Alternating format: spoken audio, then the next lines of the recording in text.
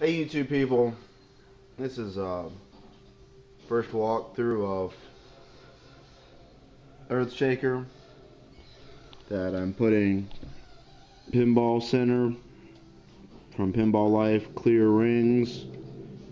I believe they're the only place in America you can get them. They're pretty see-through. They look pretty good everywhere I put them. In the background I put a YouTube video of uh, someone playing Earthshaker so we can have the music. You see the light just bouncing right off of it.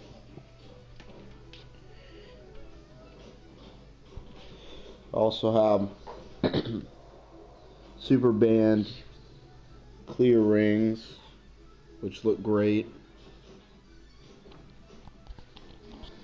I haven't done the whole game. I also did, uh, these are Super Band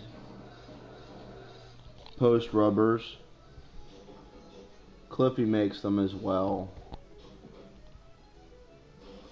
That one silver one is actually the only Cliffy one in here. I have a few white rings there. You see how they get really dirty. Those are going to be replaced soon. Um, I've casually LED'd it the insert so far. So when I finish the whole ring kit, I'll do a video on that and then later one on gameplay.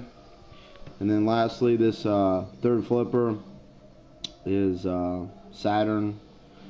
I basically only really use Saturn for uh, third flippers. They shoot pretty good and uh, they usually make your shot uh, easier, more doable.